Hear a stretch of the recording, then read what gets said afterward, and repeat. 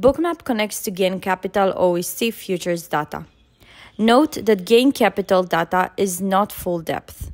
In this video, we'll go over how to connect to Gain Capital and how to execute your orders through Bookmap. Let's start with connecting. The first step is to establish a connection.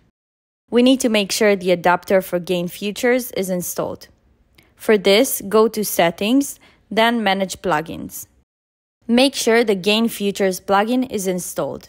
If you don't have the adapter installed already, scroll down to find the list of adapters that are not installed and install it.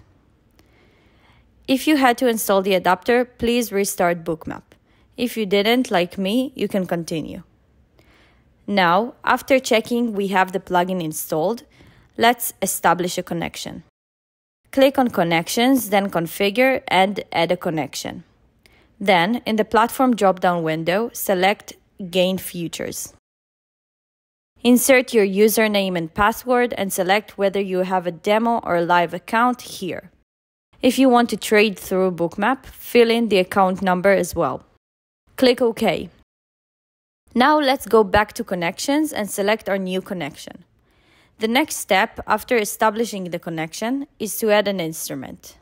Click on the plus tab, Choose Gain Futures under the platform, and for the symbol, type the contract type, then the month code, and the last two digits of the year. For example, ESM23 for the E-mini S&P 500, June 2023.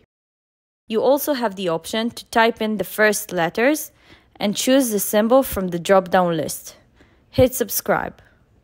If you are unsure how to type in your symbol, Click the link above for a detailed video. Let's quickly go over how to trade using Gain in Bookmap. Make sure that Gain Futures is enabled under Connections and that the account number is filled in. Click on the plus tab to open your instrument. Choose Gain Futures as the platform and type in the symbol as previously shown in this video.